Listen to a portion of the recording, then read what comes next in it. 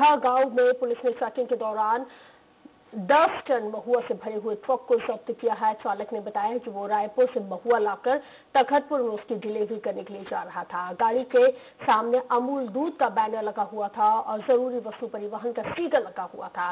लेकिन ट्रैकिंग के दौरान पुलिस कर्मियों को महुआ की महक आई, जिसके बाद ट्रक की तलाशी ली गई तो उसमें दो सौ पचास बोरा महुआ पाया गया, जिसे पुलिस ने जब्त कर आरोपी चालक को गिरफ़्तार कर लिया है।